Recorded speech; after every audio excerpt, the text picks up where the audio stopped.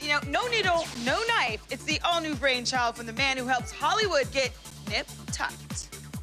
The breaking skinny on Dr. 90210. Women can look beautiful right now, not after plastic surgery. Dr. Robert Wade puts down the scalpel and hits the red carpet with Jewel, Denise Richards, and Carmen Electra to celebrate his new non-surgical way to get you slim. I can't wait to try it. The whole idea is to save you from going under the knife. We want to give women an alternative to look good while you're shedding those pounds, tweaking your diet, going back to the gym. We want to you we want to have you look good tomorrow. It can be 17 to 60 for all our garments, and I think that's really important. You know, a lot of celebrities around Hollywood are wearing shapewear.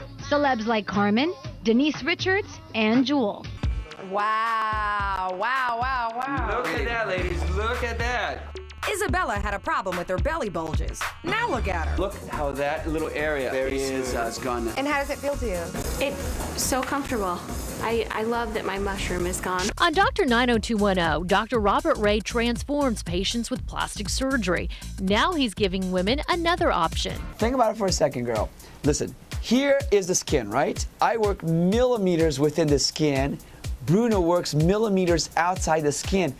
Doesn't it make sense if we're going to make beautiful shapewear to, wait, to make women look better, feel better about themselves, that you would unite a designer and a plastic surgeon? It just makes sense. So what I've actually done, Meryl, I've taken Robert's key plastic surgery techniques. With and this. I've incorporated them in our garments. So for example, the way he actually performs a tummy tuck or the way he performs a Brazilian butt lift, I've actually taken that technique and engineered it in our garments for the first time in history. It's all about uh, empowering women and having a solution for them. So if you've got that great party coming up or the holiday season, you're thinking, what am I going to wear around that wraparound dress? What am I going to wear with that pair of jeans that I haven't been able to get on for a few months? You know what? We have a solution for every single problem. So our line's solution based as well. Women worry about the belly, they worry about the inner thighs. How about the inner knee, outer thighs? How about what we call flanks in plastic surgery or the love handles? We've addressed all those areas. And the butt, the buttocks area, we make all our garments make the buttock area look like the Brazilian butt lift. Pretty good. A little cheaper than plastic surgery, that's for sure.